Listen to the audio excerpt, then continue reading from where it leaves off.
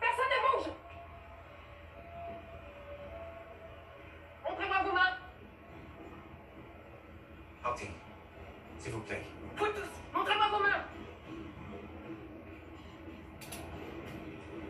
Ne faites pas ça, s'il vous plaît. Vous devriez partir. S'il vous plaît. Vous devriez partir.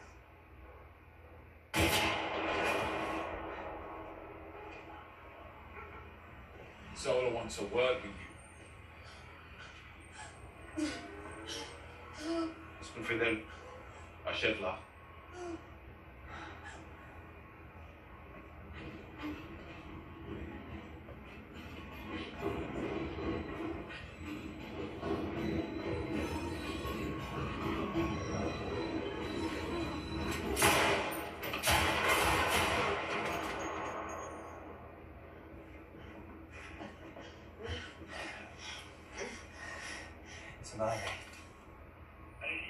Je suis blessée par balle.